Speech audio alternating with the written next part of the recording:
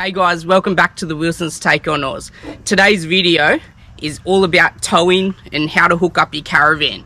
So if you're not very confident, this will be a great video to watch. And of course, it's raining, so it always rains on pack up day, so that's how it is. Let's get into it. First of all, I'll jack the front up, make sure all the legs are up, and then we'll get into it. Got the Trailmate jack, which is all wet. Wow.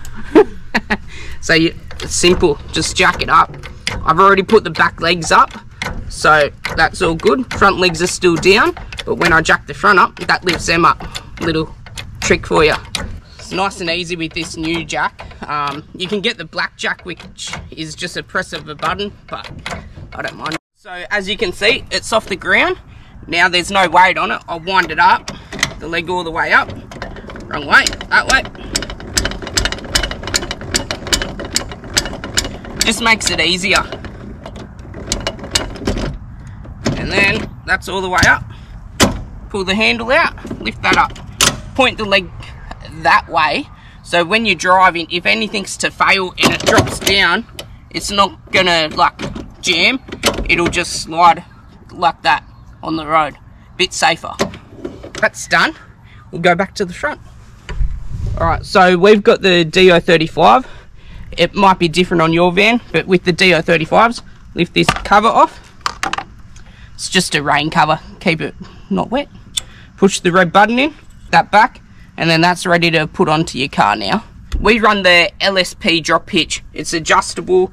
It's got a fair few different um, height adjustments, so that's ours, two from the top. Um, it's rated to 5.5 ton, so it's great. It's got this cover for the pin of the DO35. and take that off. Now we can jump in the car and reverse back and hook it all up.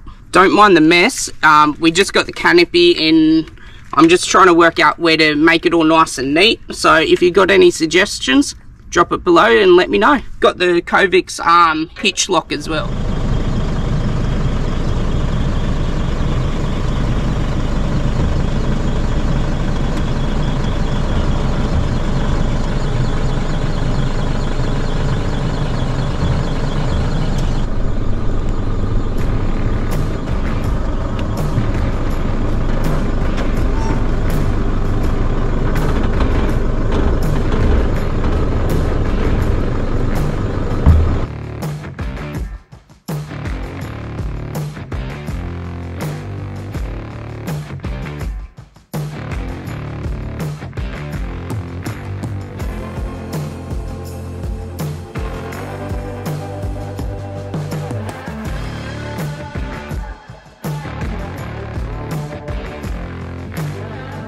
That's on the car now. Hit this red button again, and that locks it on. And then, if it's not locked on, locked in properly, this cover won't go on. So there's some security so you know you've always got it right. So I've got it so it's not right now. It will not fit. Press that again. Done. So it's on properly, you know, it's all locked in, all safe and sound. Grab your left hand chain, so this side, and then that goes onto the right hand side your tow bar. And so see how that's tight? You want don't want it be to be too tight. Sorry about the angle as well. I'm a bit squished under here. So make sure it's you don't want it too long. You don't want it dragging on the ground. So about here that's about perfect. It's got free free movement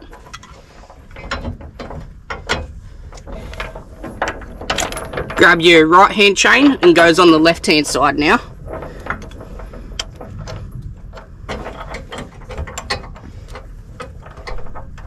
That's all connected up here now. And you can see I've got that nice crisscross. So in the worst case scenario, if this ever comes off the car, the chains are going to catch it and it's going to have a little gap so it's not hitting the ground. So you can get a jack underneath it and jack it up.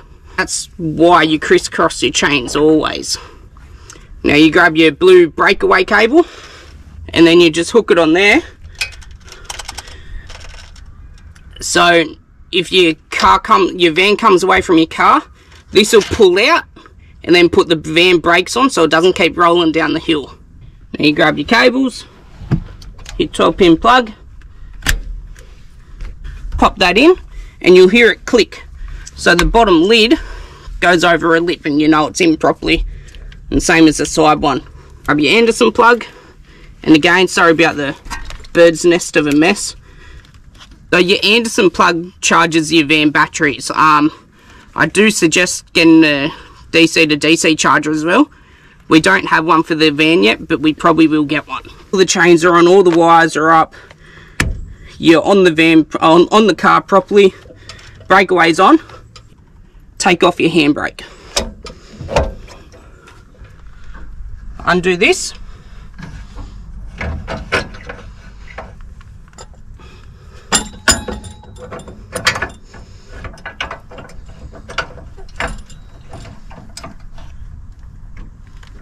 Do that up and do this up. Then it won't drop down on you. So that's how I drive. I leave it on there been fine so far. You might be thinking, oh, the van's all hooked up. It's ready to tow now, but it's not. These final steps are so important. So in New South Wales, I'm pretty sure it's illegal to not have towing mirrors. So we've got the MSA towing mirrors. You can get the cheaper clip-on ones. We did have them for a year. They were great, but these are just so much better. They just fold down, pull out. How easy is that? Then you can adjust them inside the cabin. Away you go. I'm gonna hop in the car and Sophie will be at the back of the van making sure all the lights work.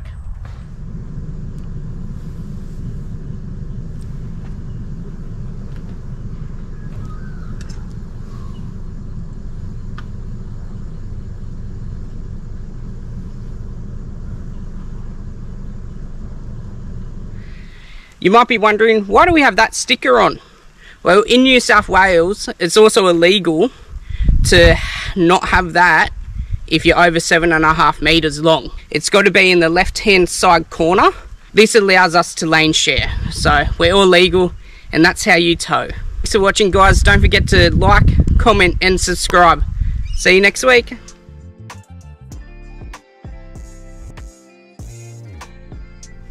I might um, Oh, don't show them the mess.